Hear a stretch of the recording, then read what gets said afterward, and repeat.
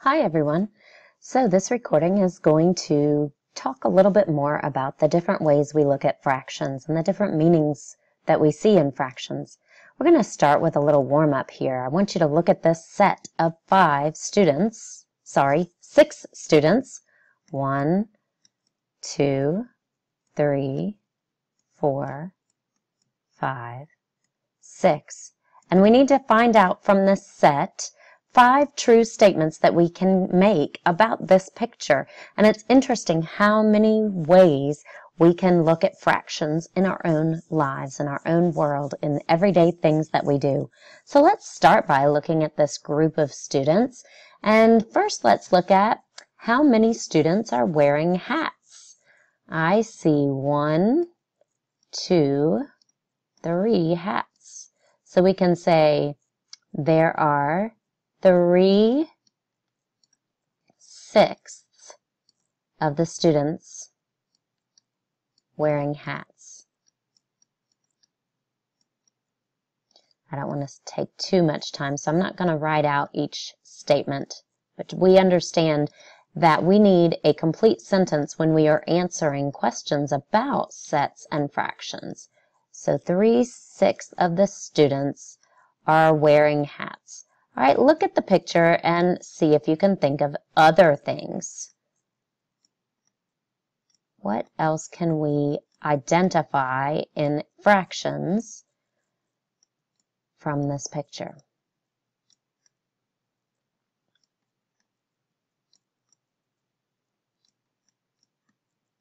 That takes way too long for me to write.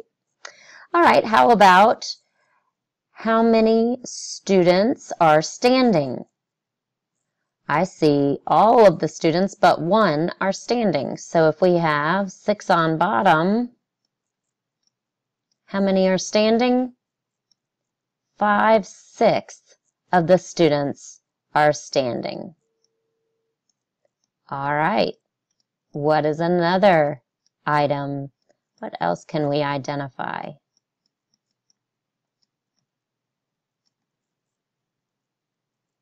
How about um, students holding lunch boxes? I think this is a lunch box. This is a lunch box. Um, we'll call this one a lunch box and this one a lunch box. So one, two, three, four lunch boxes.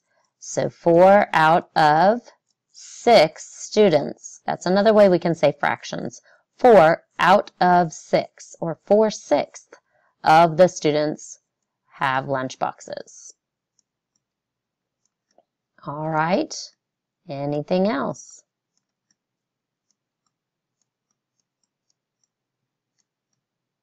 How about girls and boys? I think this is a girl. I think this is a boy. Another boy. Another boy. This is a girl, and this is a girl. So we have one, two, three girls out of six in the set. So three, six are girls. We can also do the other fraction. How many are boys? Well, the same. Three sixths are boys. So we have equal parts boys and girls. All right. Great job, everyone. Maybe you found something different to do for fractions than I saw in this picture. And that's wonderful. Again, we want to write out our sentences, so I'm sorry Miss Porter didn't take the time to do that in this particular um, slide, but it would take too long the way I'm doing our lesson with a PowerPoint today. Our I can statement is to represent fractions in different ways. So we're going to look at parts of a whole, like we did yesterday, and now we're going to look at two other ways parts of a whole. We also did the sets yesterday. And one more way we have not done, and that is fraction as a number line, or a number on a number line. So here's our fractions as part of a whole, because we have a shape, and part of that shape is colored in, and we are looking at that completion of the shape. Then we have a number line, 7 tenths. And so we have to look at the number line and we see that there are 10 equal parts in this spot. And we count up to 7 to find 7 tenths on the number line. And then fractions as part of a set. And we know that this set is money and there are seven pennies out of the ten coins altogether. So seven tenths of this set are pennies. All right, so let's go on. We're going to look at another um, question and decide what type of group of fractions this is. Is this fractions as part of a whole? Is it fractions as a number line? Is it fractions as part of a set? What do you think? That's right. This one is part of a whole because we have a shape and we have the parts of that shape colored in. And this question says, which figure shows 5, 6 shaded orange? 5, 6 shaded orange. So first let's look at how many shapes this is divided into. How many equal parts? 1, 2, 3, 4, 5, 6. So all of them are the same shape and they're all 6 equal parts. So we know that all of them have a denominator of 6. Now we just need to find which ones have the numerator of 5. And remember I told you when you're typing on a computer or typing in um, your answers on a keyboard, you end up having to use this diagonal line, but it means the same thing as my straight fraction bar. All right, so they're both the fraction bar. It's just um, shown differently. All right, so this one has one, two, three, four shaded. This one only has one shaded. This one has one, two, three, four, five shaded in. That gives me the fraction of 5 sixths. So I think that's our answer. This one is 1, 2, 3 sixths. This one is 2 sixths. And this one is 6 sixths. Or as we learned yesterday, 1 whole. All right, how about this one? Well, yes, that's very easy. It is a number line. So fractions is a number on a number line. This says put a point on the number line to represent 5 6. So first we need to make sure we have six equal parts. So we have one, two, three, four, five, six equal parts.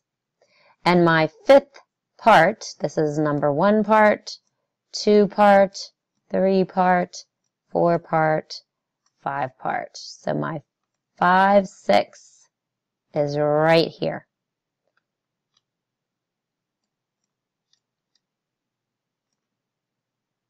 All right.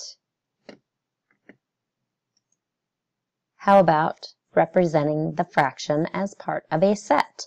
This set are, is a set of automobiles. There are six automobiles. One, two, three, four, five, six. How many of these automobiles are red cars? That would be our five, six. How many of them are yellow buses? One six are yellow buses.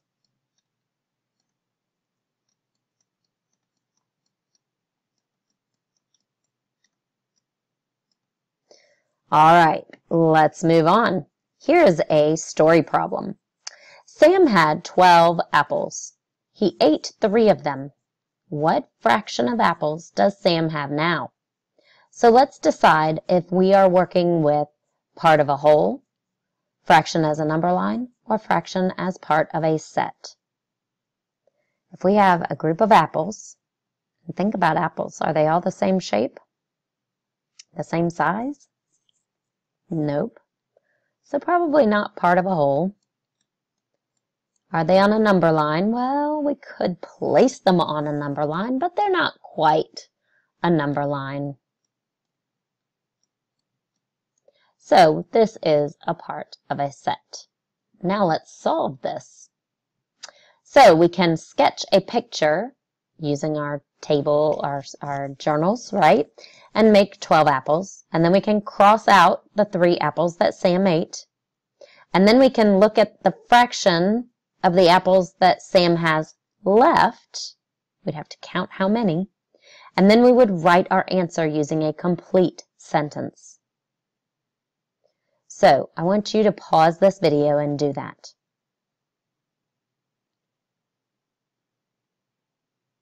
All right, I hope that you paused and you took the time to work in your journal to illustrate this problem and to write out a complete sentence. Let's go and check your answers.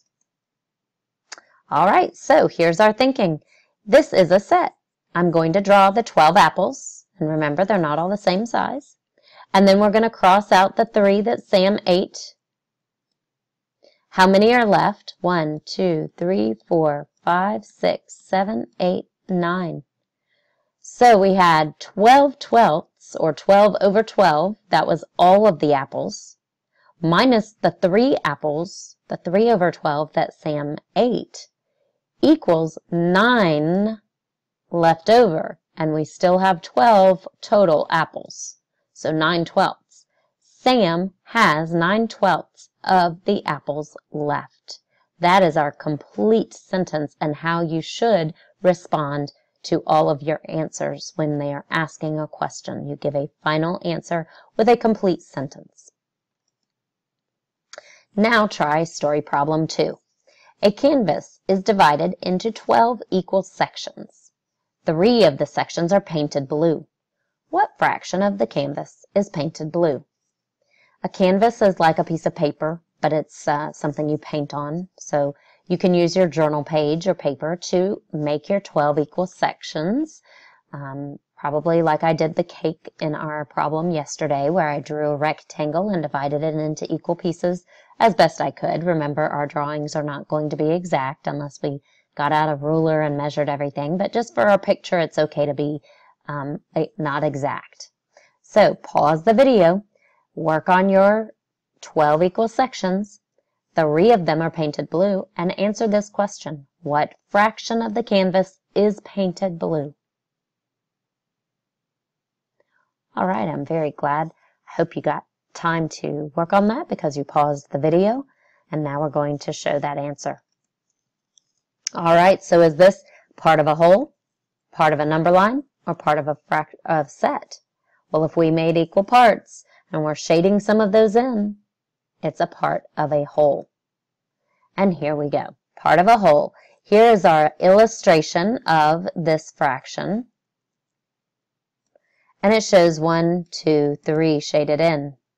So 3 twelfths of the canvas is painted blue, is your answer to this problem in a complete sentence. Here's the next one. Hannah is walking 12 blocks to the park. On her way to the park, she stops at Amy's house, which is three blocks from Hannah's house. What fraction of the distance to the park has Hannah walked?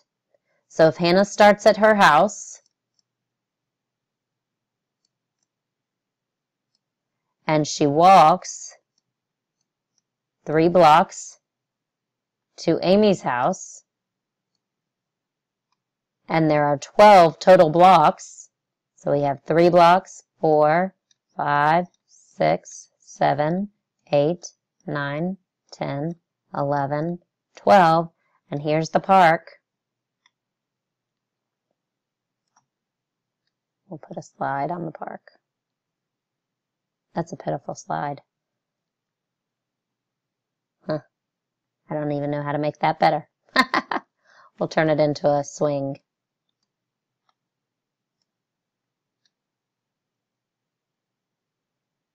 There we go.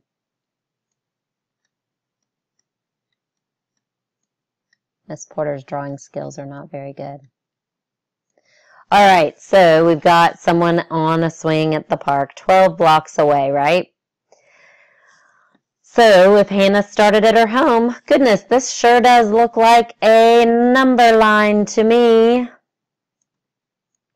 with 12 equal blocks going to the park how many blocks or how much of the fraction, what fraction of the distance did Hannah walk already to Amy's house? pause the video and answer in a complete sentence what fraction of this walk Hannah has already done. All right, let's see. It is a number line and 12 equal parts, and she walked one, two, three of those. So Hannah has walked three twelfths of the way to the park.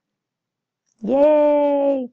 All right, guys, here is a very good illustration that I would snip. Use that snipping tool. You go to your start menu and the accessories and find the little scissors, and then you click on it, and then it lets you drag it open and take a snip or a picture of this slide because this will help show you a model for the number line, the set, and the part of a whole. I hope that you guys found this very helpful and we will learn more about fractions next week. Have a great day.